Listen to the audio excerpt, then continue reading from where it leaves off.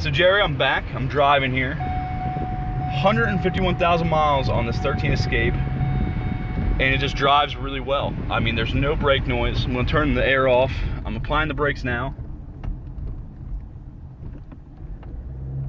It accelerates fine, drives great. There's no noise. A little bit of wear on the steering wheel, but I mean, the, the, whoever had it before this, they, they drove it. So I mean, that's gonna happen.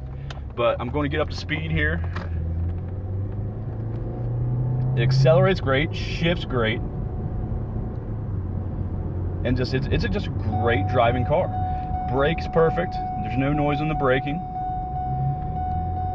and just drives really well. Drives how you wouldn't expect it to. I mean, with 151,000 miles, I, I expected a little, you know, a little a little bit more looseness. Uh, this thing is incredibly tight and drives phenomenal uh, just email me back. You can give me a call at 513-752-667, excuse me, 6611 if that is easier for you.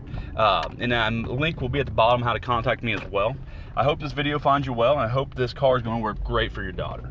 Hey, Jerry, thank you so much for your time, and hope this video finds you well. Have a great day.